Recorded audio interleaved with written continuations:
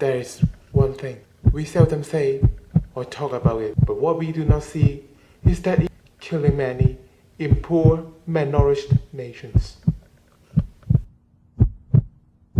Never fade away, invisible.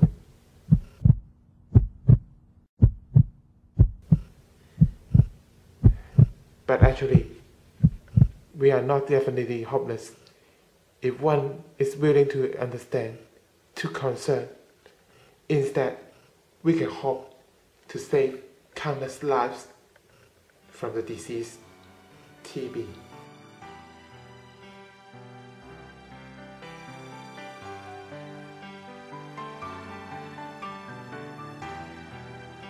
Currently, TB remains to be one of the most powerful infectious diseases in the world. TB is curable. It can be prevented only if we are willing to take actions from today.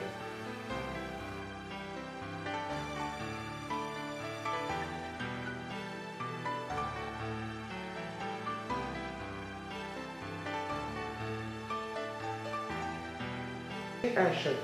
Stop TB together. Please support Anti-TB Day on March 24th.